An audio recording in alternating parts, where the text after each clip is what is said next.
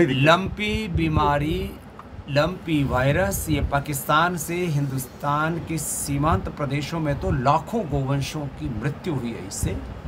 और सनातन धर्म का सबसे बड़ा कोई जीवंत प्रतीक है तो गौ माता है। और इसकी भी जाँच होनी चाहिए कि ये वायरस कहीं मैनमेड तो नहीं है। और ये साजिश के तहत तो हिंदुस्तान में नहीं फैलाया गया। और जहाँ तक इसके उपचार का प्रश्न है गवर्नमेंट वैक्सीनेशन आदि का प्रबंध तो कर ही रही है, जो हमारे परंपरागत तरीके थे। एलोवेरा, हल्दी, मुल्तानी मिट्टी और नीम, इससे पशुओं को लेप लगा करके और एलोवेरा, गिलोय, तुलसी, अश्वगंधा और एक हम कायाकल्प, क्वाथ और इस तरह की चीज़ें बनाते हैं जो शरीर के शुद्धिकरण के साथ उसके सशक्तिकरण की इम्यूनिटी की पावर को बढ़ाते हैं। वह लंपी बीमारी के लिए अचूक काम कर रहा है। अभी यद्यपि पशुओं के मरने की जो दर है, वो कम हुई है, लेकिन अभी भी यह ज़रूरी है, क्योंकि जिस तरह से गायों को फिर वो फोड़े होकर के जो फूट रहे हैं, वो बहुत दर्दनाक है। उसमें इन चीज़ों से ज़रूर मदद मिलेगी। बाकी इस पर हम रिसर्च कर रहे हैं। हमारी पी आर आई महाराज जी इस समय मौसम चेंज हो रहा है और डेंगू दवा का में इच्छा कुछ ज़्यादा और भारत के लोगों को तो गौरव होना चाहिए कि दुनिया में पहली बार कोई दूसरे नंबर पर पहुँचा।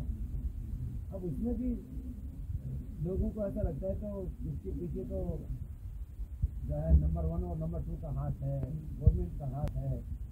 अरे, एक बार जो बारहवीं के बाद आगे कॉलेज छोड़ दिया था जिसने और फ़र्स्ट जनरेशन में एक लाखों करोड़ का साम्राज्य खड़ा किया तो भारतीयों के तो गौरव की बात इसमें ईर्षा नहीं करनी चाहिए।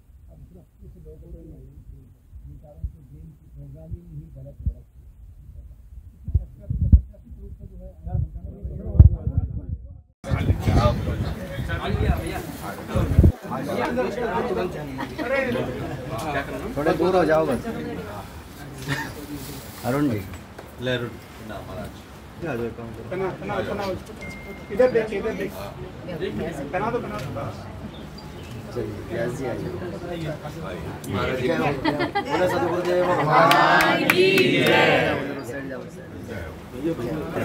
हो।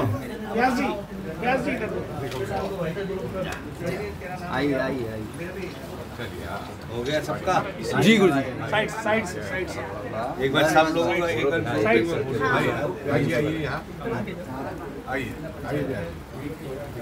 थोड़ा पीछे और सामने देखो चलो मुस्कुरा तो हम तरफ़ देखेंगे पूरे देश में, पूरे देश में समान नागरिक संहिता की बात पिछले आज़ादी के 75 वर्षों से चल रही थी। और उसको मूर्त रूप देने का काम उत्तराखंड सरकार ने किया। यहाँ पर जिस तरह से धर्म परिवर्तन का काम चल रहा था, अवैध तरीके से, अनैतिक तरीके से, असंवैधानिक तरीके से, वो उत्तराखंड के लिए चिंता का विषय था। यह सीमांत प्रदेश है, देवभूमि है। हरिद्वार महातीर्थ के अलावा गंगोत्री, यमुनोत्री, बद्री, केदार्थ के साथ साथ उत्तराखंड दुनिया की आज आध्यात्मिक राजधानी है। और ऐसे प्रदेश में, जिस प्रकार से यहाँ पर मजहबी उन्माद और कुछ अलग प्रकार के मनसूबे पाले बैठे लोग गलत गतिविधियाँ कर रहे थे, उनका जैसे ही मुख्यमंत्री को पता लगा तो उन्होंने मदरसों की जाँच का आदेश दिया, जो सही कर रहे हैं, उनको डरने की आवश्यकता नहीं। और जो गलत कर रहे हैं, उनको तो डरना ही चाहिए। धर्म परिवर्तन कुछ साधु संतों ने बंद महाराज जी, इसमें पूरा देश- परिषद अध्यक्ष ने कहा कि ये बंद होने बंद होने चाहिए। हिंदुओं के कुछ साधु संतों ने मांग की। बंद ही होने जाने चाहिए। बोया जा रहा है यहाँ से बंद होने चाहिए। देखिए आज से तीस साल पहले जब मैं हरिद्वार आया था और उत्तराखंड में मेरी कहता हूँ भौतिक जन्मभूमि तो हरियाणा है लेकिन आध्यात्मिक जन्मभूमि मेरी उत्तराखंड और गंगोत्री है। तब मैंने यहाँ देखा किसी भी तरह का इस्लामिक उन्माद नहीं था।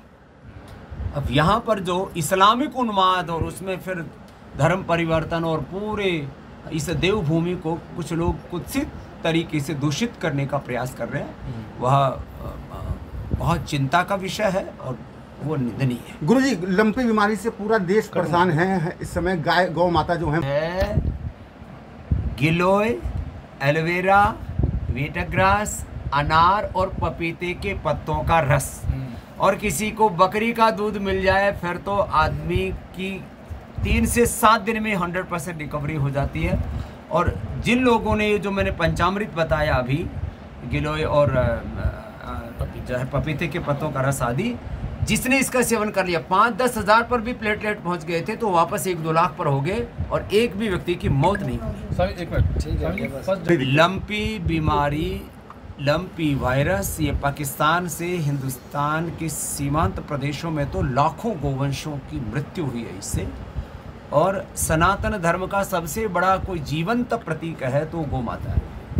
और इसकी भी जाँच होनी चाहिए कि ये वायरस कहीं मैनमेड तो नहीं है और ये साजिश के तहत तो हिंदुस्तान में नहीं फैलाया गया। और जहाँ तक इसके उपचार का प्रश्न है गवर्नमेंट वैक्सीनेशन आदि का प्रबंध तो कर ही रही है, जो हमारे परंपरागत तरीके थे।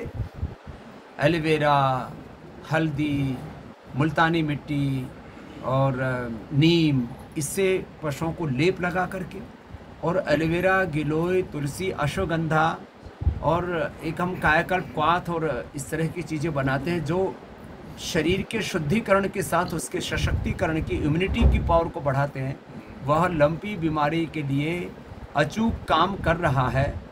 अभी यद्यपि पशुओं के मरने की जो दर है, वो कम हुई है, लेकिन अभी भी यह ज़रूरी है, क्योंकि जिस तरह से गायों को फिर फोड़े होकर के जो फूट रहे हैं, वो बहुत दर्दनाक है। उसमें इन चीज़ों से ज़रूर मदद मिलेगी। बाकी इस पर हम रिसर्च कर रहे हैं। हमारी पीआरआई डाउनलोड करें अमर उजाला ऐप और पाएँ खबरें लगातार। अगर आप ये वीडियो YouTube पर देख रहे हैं तो हमारे चैनल को सब्सक्राइब करें और बेल आइकन को दबाना ना भूलें। अगर आप Facebook पर यह वीडियो देख रहे हैं तो हमारे पेज को लाइक करें।